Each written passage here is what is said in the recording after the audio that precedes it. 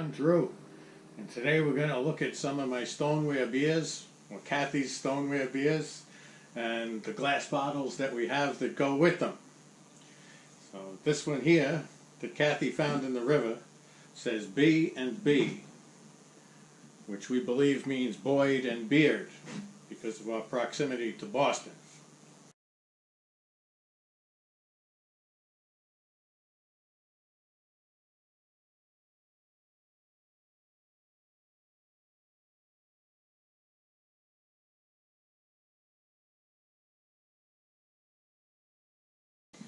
This bottle would date to between 1842 and 1848, when Boyd was in partnership with Beard.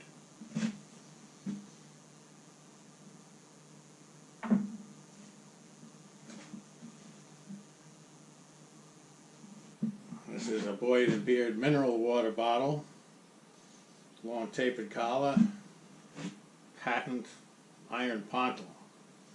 Real early one, real nice one.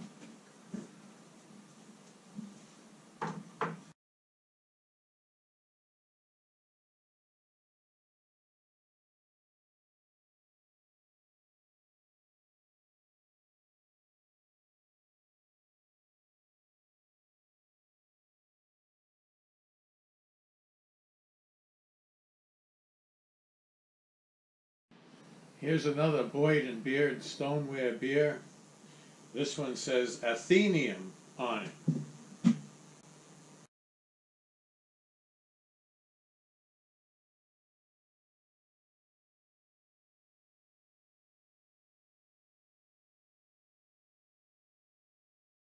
And we have some history on that.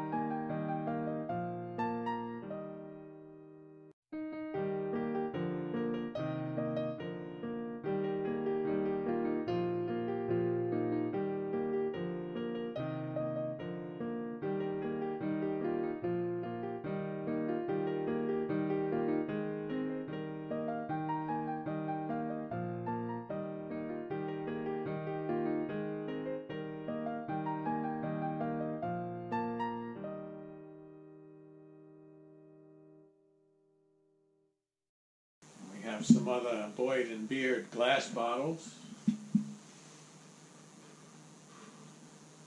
There's another one with the long tapered collar. Iron pontil.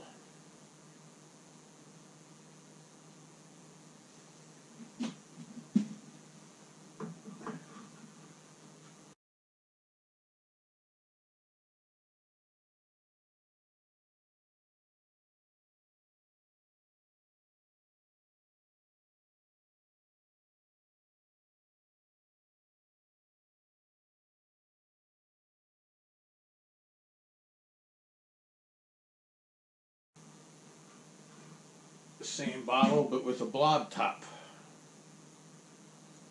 Big B on the back. This bottle is never sold. Iron pontle.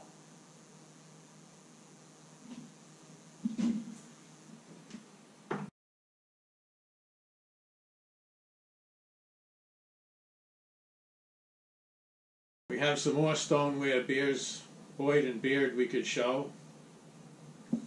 Boyd and Beard. Root beer. With the blue on the shoulder and the blob top.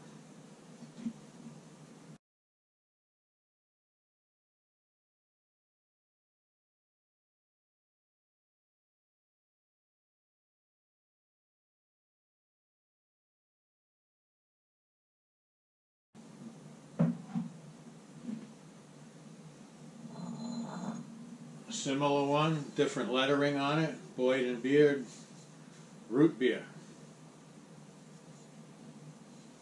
Also with the cobalt top.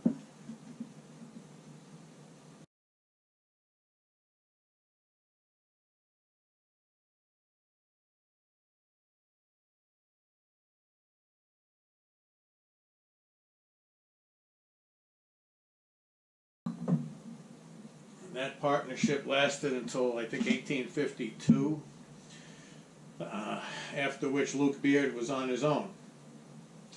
And here's a Luke Beard bottle dated 1853. There's no blue on this one.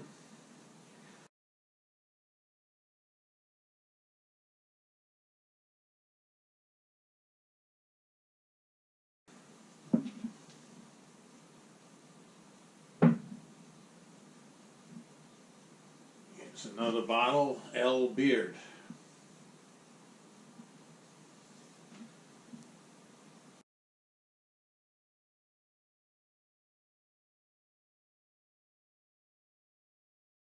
Glass bottles by Luke Beard.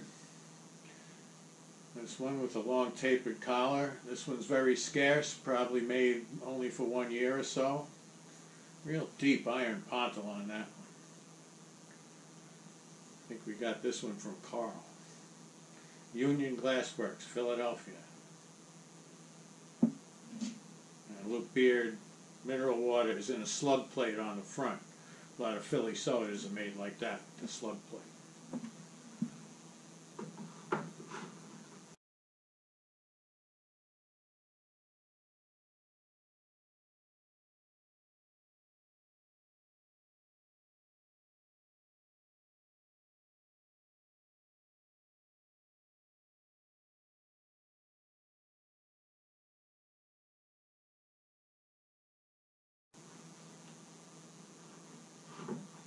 Different one.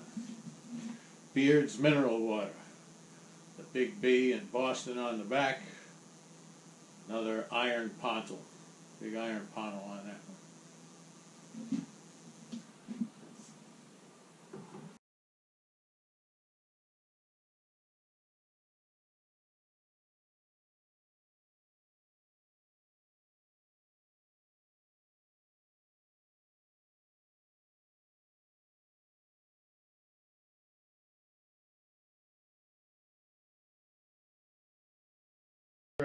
Another Luke Beard bottle.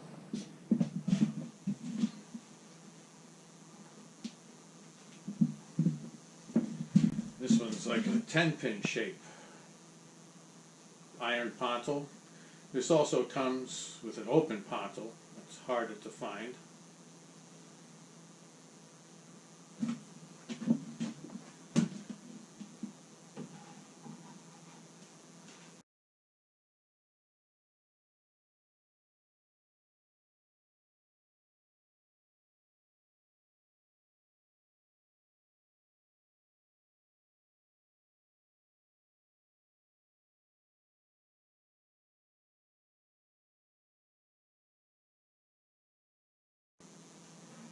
And this one, this one's fairly common. Luke Beard, Howard Street, Boston. This bottle never sold. Also big iron pontil.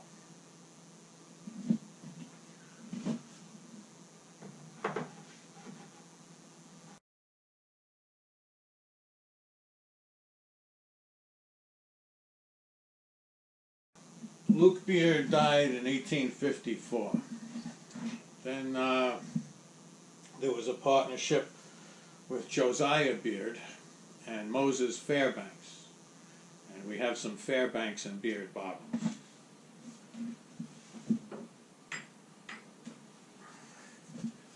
Here's one. F&B, Fairbanks and Beard, Howard Street, Boston. Smooth base. These come in a variety of different colors or shades of color. One more of an aqua hue.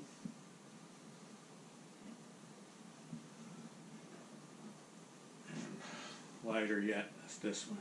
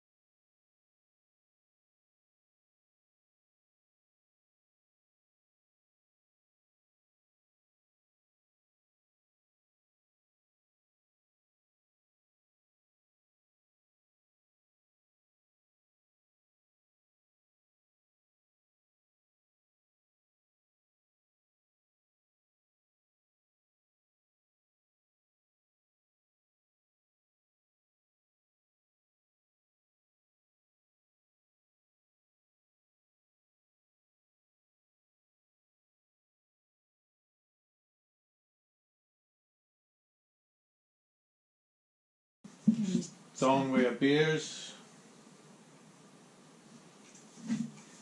Fairbanks and Beard. Although this one has a spelling error, actually it says Fairbacks and Beard. Left the N out of Fairbanks.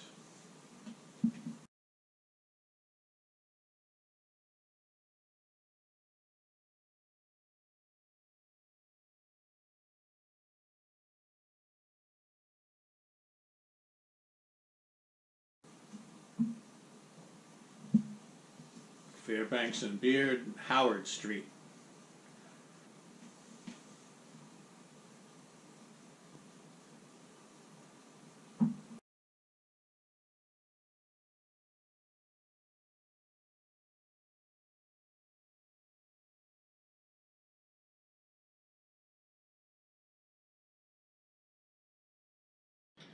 On the Fairbanks and Beard bottles, here's one that we found in the river. Aqua Blob Top, Fairbanks and Beard, Boston.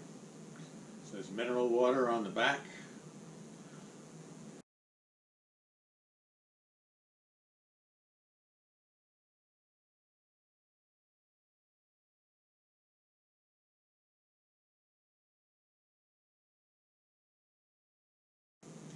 And here's a similar one that we found in the river. M. Fairbanks and Company, Boston. MF and Co. on the back. And our research leads us to believe this is 1872 to 1881, this bottle.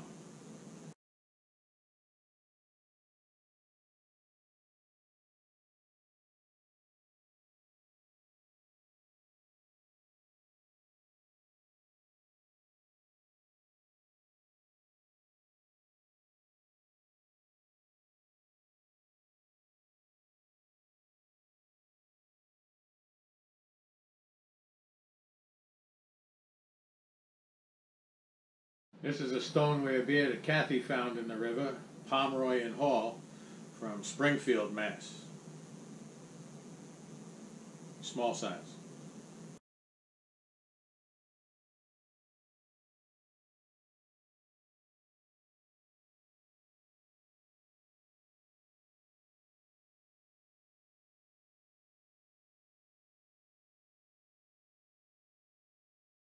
This is a large size Pomeroy and Hall.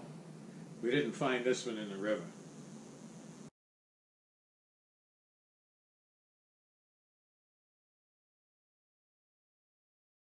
These are the Pomeroy and Hall glass bottles that we have to go with the stoneware beers. We didn't find these in the river either. The Pomeroy and Hall with the mug base, sticky ball pontil on that one.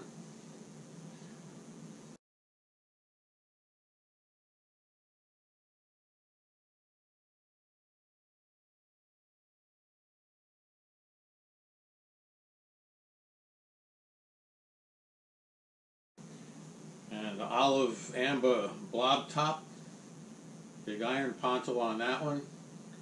This might be Westford Glass Company, made in Connecticut.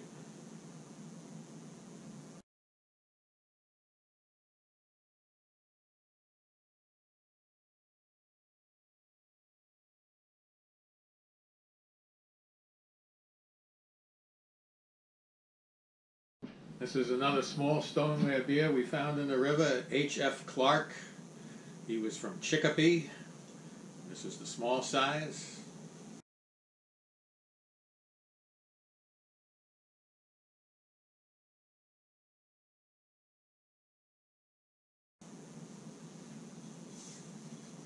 And this is a larger size that we didn't find in the river.